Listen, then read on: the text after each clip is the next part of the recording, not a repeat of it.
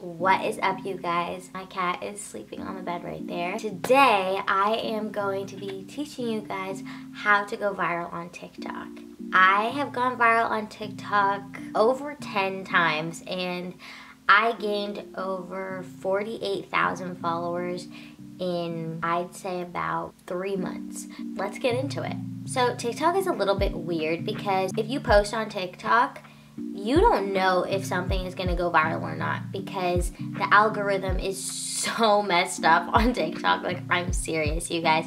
Like, a video that you don't think is gonna go viral will go viral, and a video that you put so much work into, and a video that you think is gonna go viral, it will only get about 2,000 views. I will tell you my stories. I realized in the past few months that videos that pop off on TikTok are videos that are controversial. People have different opinions and if you post something that everybody agrees with, yeah, sometimes you're gonna get views, but it's more of something where it's like, it's a video for them to be like, oh my gosh, let me comment down below. Like, this is so weird. Like, I need to converse with other people and talk about how strange this is, you know?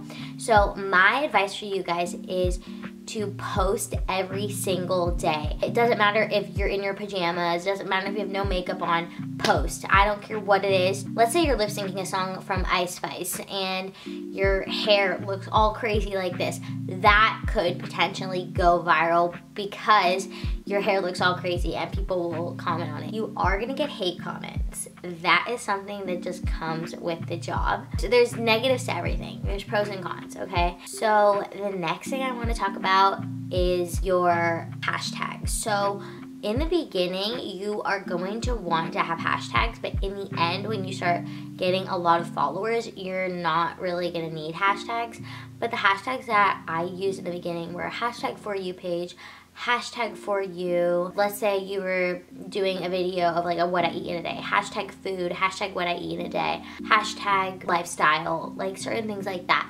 Another thing that I personally think is a little bit millennial in a sense is when you have thumbnails for your TikToks. So yes, YouTube thumbnails are very important, but TikTok thumbnails, no, that's just embarrassing. Okay, I'm being for real with you guys.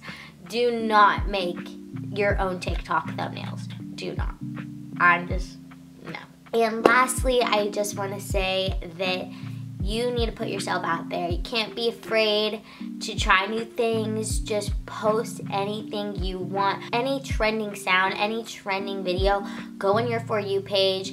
Even look at a girl and be like, oh my gosh, I want to do that video. Put your own little spin on it, you know. Stay on track with the trends. That's my number one advice to you. I really hope you guys enjoyed this video. Make sure to like it, comment down below if these tips helped you and what tips you're going to use on your next TikTok. I love you guys. Follow me on all my socials. Bye guys.